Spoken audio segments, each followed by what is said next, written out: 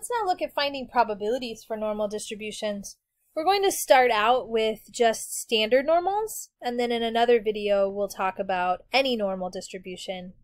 The principles with these though are the same, meaning that meaning that if I'm if I have any normal distribution, then I can use the same procedure as in what we're about to do just by switching out the formula to any normal distribution instead of the standard normal distribution. So when we find the normal distribution probabilities, or if we're looking for the inverse and we're given the probabilities and we're looking for the x's or the z's, um, we're going to sketch these graphs. Sketching the graph is very helpful in working to determine what it is we're looking for and if we're setting it up correctly. So let's take a look at a, a first example of how we can calculate probabilities. Um, I'm using the Excel formulas below, but if you leave out the true at the end of the argument, you use you can use Google Sheets for this very same thing. So an example for Google, the one right below us, we would type in norm dot dist and then put in the z without the true norm dot s dot dist z no true will get us the Google formula. So in the first example, we need the area to the left of the given z value. So we will be given a z value and we have to find the corresponding area. It, notice we have two scenarios. We could have a z that is positive, meaning it's above the mean, it's greater than zero. Or we have a negative z, meaning it's below zero or below the mean. And the big thing to think about is that if we're looking at areas to the left and I have a negative z-score, then that area is going to be less than half. So if we're trying to find area to the left of a z value and we have a negative z, notice that that area is pretty small. It actually has a limit. That area cannot be bigger than half because 0.5 is exactly half of 1, which is the area to the left of 0. So I know those numbers aren't very clear, but the point being, if I have a negative z value, I'm looking for areas less than z uh, probability that z is less than a given value, then that probability should be smaller than half if my z is negative. If I have a positive z, meaning it's above the mean, I already have 0.5 to the left of 0, so adding more onto it will get us a value greater than 1 half.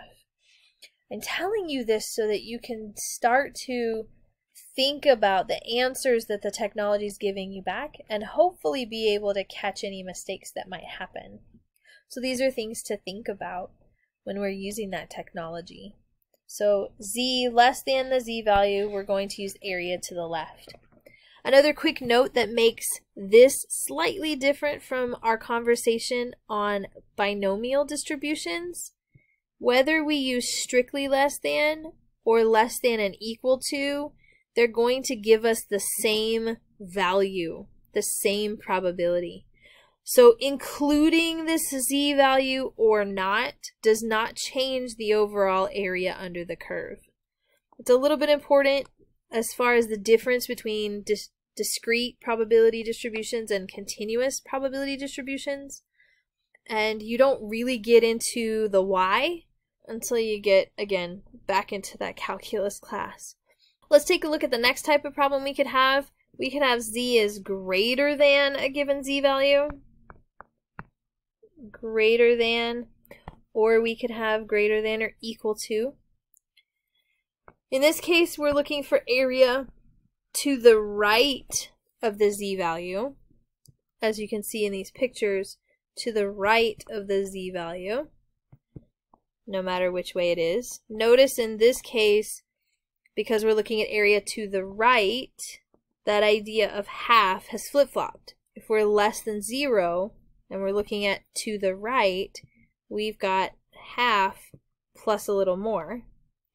If we're greater than zero, we have definitely less than half because again, it's already bigger. Here, even though it's hard to see, there's a 1 minus in front of the norm.s.dist formula. And again, we've got the s here because we're talking about z's. We're talking about the standard normal. z's for statistics represents the standard normal distribution. x can represent any variable.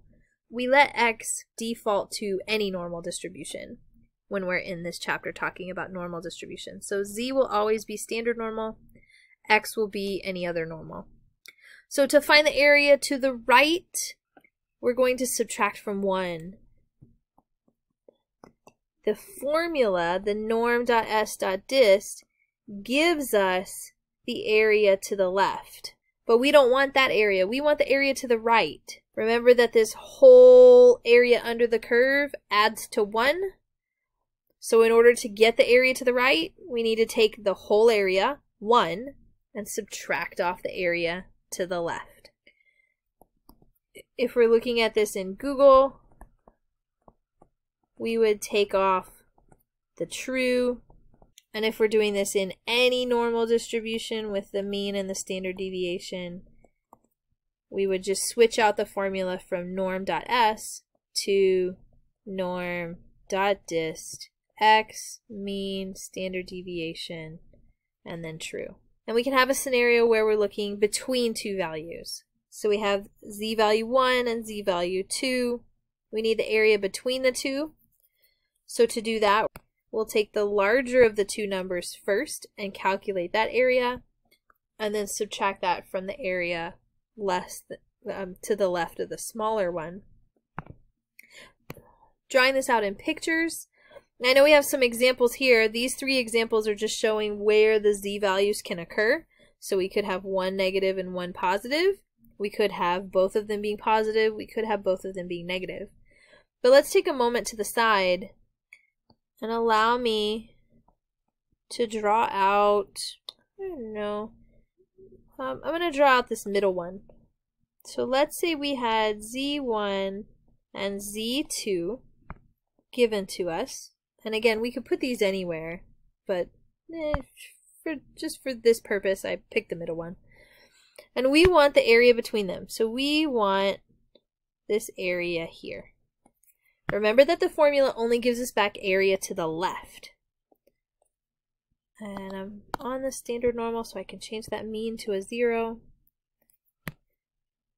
I'm going to put in Z2 first. So the first formula takes Z2 and everything to the left. All of this area here. And that I'm going to color yellow. And subtracts from that area the area to the left of Z1, which is this area over here. So that we are left with only the area in the middle. So we subtract off the green area and we're left only with the remaining yellow, which is equivalent to what it is that we're looking for. And that's why we have this subtraction of two different formulas, just like we saw with the binomial distribution. Let's put this into practice. First calculating a left area or a left probability. Find the probability that z is less than 1.87 or equivalently, find the area to the left of z equals 1.87. We can start out by drawing our standard normal graph. Make a hill. Put 0 in the middle. Don't worry too much about it. And then 1.87 is somewhere over here. I know he's to the right of 0 because 1.87 is bigger than 0, so I can put it there. And we're looking at left area, area to the left. So we want Excel to calculate this area here.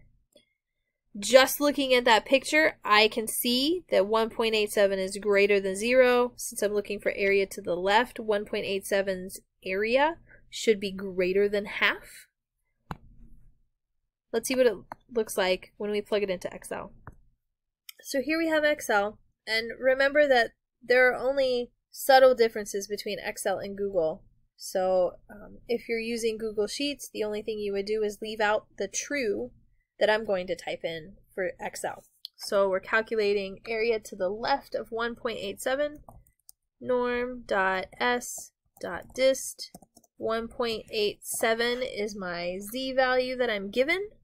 I do not need the mean and the standard deviation because I'm already telling Excel that I'm using the standard normal. And notice it prompts me with true or false.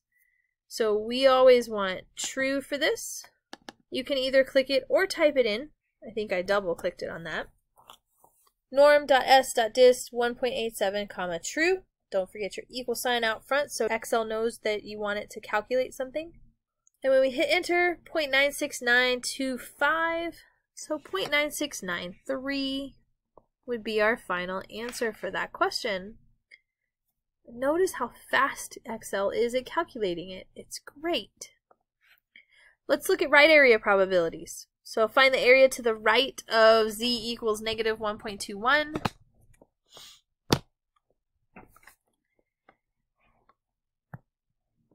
We can draw another picture, put a hill, zero in the middle negative 1.21 this time is to the left. But we are being asked area to the right, so we're asked for this area here. Again, noticing that I'm smaller than zero and I'm looking for area to the right, so I'm going to have a big number again, bigger than half. And let's pop this one into Excel. So using Excel again, norm.s.dist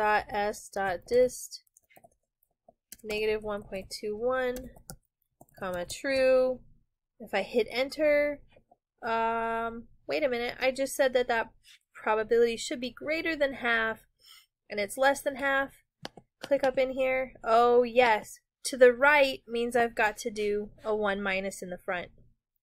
So if we include the 1 minus and hit enter, 0.88686 0.8869 if we're rounding to two decimal places.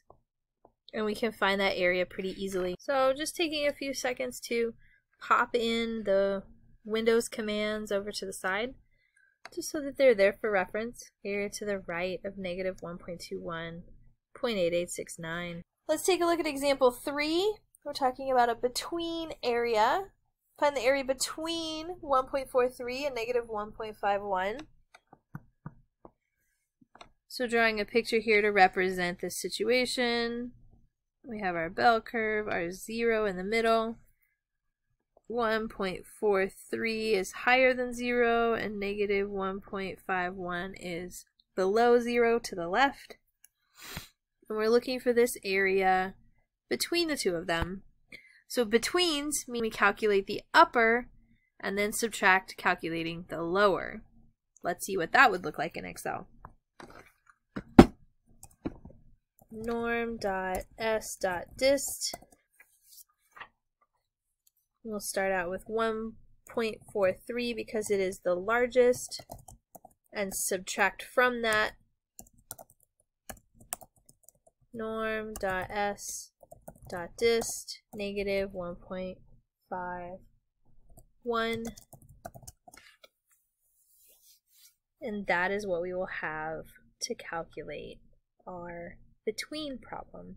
Oh, so I'm popping the Excel up there. I haven't even hit enter yet. We should hit enter. 0.8581. Now let's look at finding the probability between 0 and 2.04. In this case, we're cutting off at 0, 0 to, point, or to 2.04. Well, we already know the area to the left of 0. This area is half. So in order to calculate the area between 0 and 2.04, we really just need to calculate 2.04 and subtract half from it. Let's see what that would look like.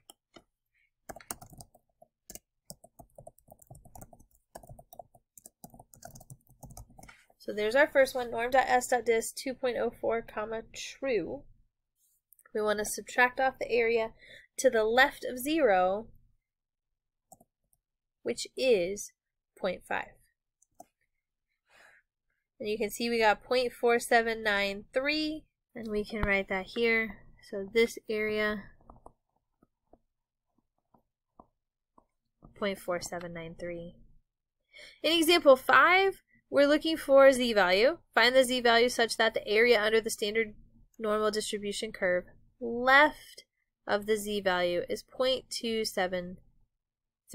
So notice how the question changes. In the first four examples, we're being asked for probabilities. But this problem asks us for a z-value. We're changing what's being asked.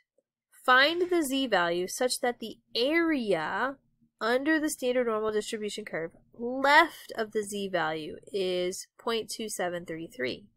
The area is 0.2733. We've got to find this z-value that makes that statement true. So, again, drawing a graph, the area left of the z-value is 0.2733. It's smaller than half. But I don't want to put that 0.2733 here along the x-axis. It's not an x. It's a probability. So this probability to the left of some mysterious z-value is going to be 0.2733 we need to use the inverse function. Let's see how that would look.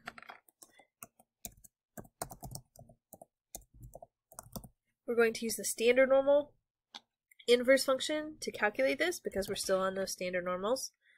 We'll talk about any normals in a subsequent lesson. Norm.s.inv 0.2733 is our probability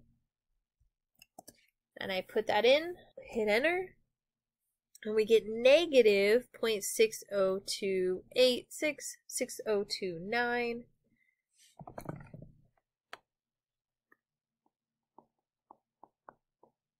And it makes sense that the z value is negative because 0.2733 is smaller than half, so our z-score must be less than 0. So this is saying for a value that is six tenths of a standard deviation away from the mean, we're going to get a probability of 0.2733. And then I made a small mistake in example 6. Scratch out the values that are given and put in 0.3428 unless it's already there. Find the z value such that the area under the standard normal distribution curve between 0 and the z value is 0.3428. So we're still looking for a z value, like in example 5. So we're going to use that inverse normal function again. Let's draw our normal distribution and stick 0 in there. We're looking at between 0 and z, so we can partition that out. This area between 0 and z that we don't know is 0.3428. Well, how do we find that using the inverse normal distribution? Because the inverse normal gives us the z value that corresponds to that area being all to the left. But we have a stop here at 0. That's a problem. One thing we can do, how much area is to the left of 0? Yep, 0.5. I know that 0.5 is to the left of 0. So if I'm looking at all the area, total area left of z, I'm looking at 0.5 plus 0.3428 or 0.8428 is my probability left of the z that I'm looking for.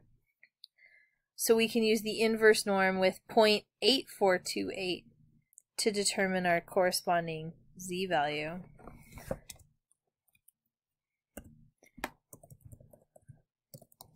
So we can type that in norm.s.inv 0.8428 and if I close it I get 1.0060 as the answer.